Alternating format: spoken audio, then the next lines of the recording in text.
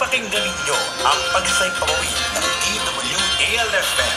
Ang DWALFM ay pag-aari ng Arsidiosis ng Lipa at pinamamahalaan ng Radio Bayanihan System.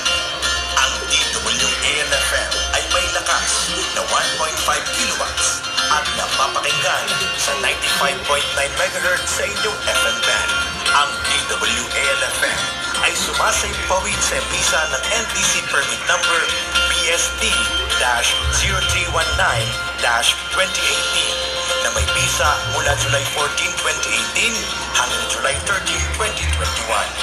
Ang DWALFM ay matatagpuan sa St. Francis de Sales Broadcast Center sa City Rona Street, Barangay 7, Batangas City. Ang transmitter site ay nasa Barangay Santo Domingo, Batangas City. Ang DWALFM ay sumasaybawid mula alas 5 ng umaga hanggang alas 11 ng gabi at pinamamahalaan ng Electronics Communication Engineer at mga radio telephone operators na pawang lisensyado ng Professional Regulation Commission at National Telecommunication Commission. Engineer Ray Balita, ECE with PRC number 0009453. First class radio telephone operator Rogelio Fabie license number 94-1P4-10001.